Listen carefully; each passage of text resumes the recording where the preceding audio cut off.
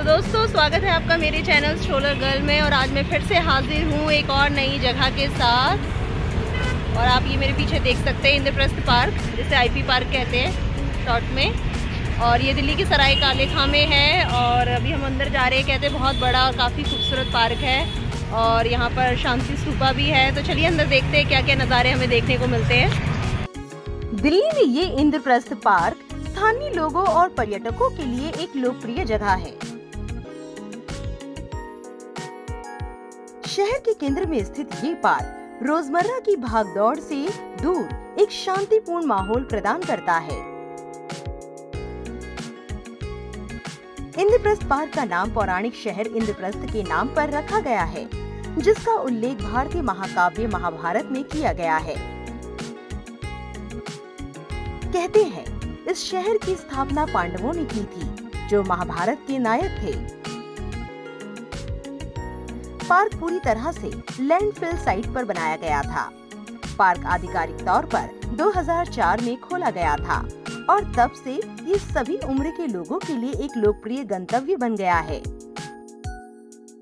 ये पचासी एकड़ में फैला हुआ है और यमुना नदी के पास स्थित है। पार्क को एक छोटे जंगल जैसा दिखाने के लिए डिज़ाइन किया गया है जिसमें विभिन्न प्रकार के पेड़ और पौधे हैं।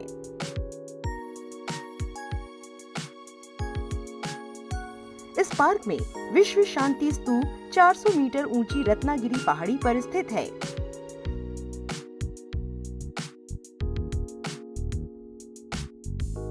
ये स्तूप संगमरमर के पत्थरों से निर्मित है और स्तूप के चारों कोनों में बुद्ध की चार आकर्षक मूर्तियाँ हैं, जो इस स्तूप को और भी मनमोहक बनाती है।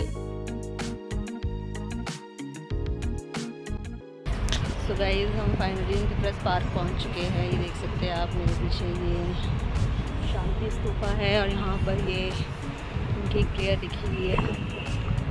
नमियो हो, रेंगे क्यों? नमियो हो, रेंगे क्यों? ये यहाँ की मतलब इनकी जो प्रेयर है, बोलते हैं, जैसे हमारे मंत्र होते हैं। और महात्मा बुद्ध की तस्वीर है यहाँ पर। काफ़ी अच्छा लग रहा है।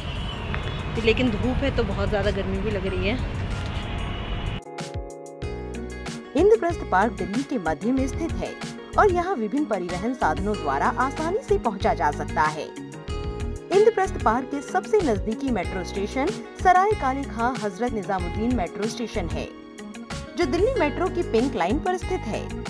वहाँ से आप पार्क तक पहुँचने के लिए ऑटो रिक्शा या कैब ले सकते हैं। इंद्रप्रस्थ पार्क प्रतिदिन सुबह छह बजे से शाम सात बजकर पंद्रह मिनट तक आगंतुकों के लिए खुला रहता है और इसका प्रवेश निशुल्क है।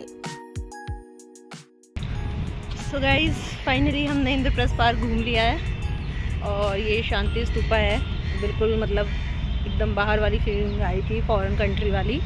और काफ़ी अच्छे व्यूज़ आ रहे हैं यहाँ से। देखिए क्या नज़ारा है और फोटोग्राफी के लिए बहुत बढ़िया है ये।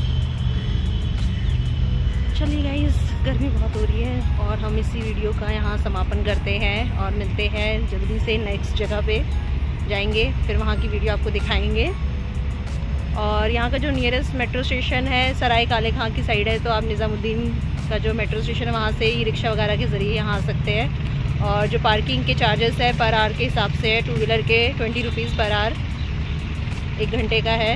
तो जैसे जैसे आर्स बढ़ेंगे ट्वेंटी रुपीज़ बढ़ते जाएँगे। तो आप इज़िली यहाँ आ सकते हैं और इससे पहले यहाँ पर वो पड़ता है वेस्ट वेस्ट वंडर पार्क भी। तो अगर आप यहाँ आ रहे तो वहाँ भी घूमने जा सकते हैं। तो चलिए गाइज़ मिलते हैं नेक्स्ट वीडियो में। बहुत जल्द। Bye everyone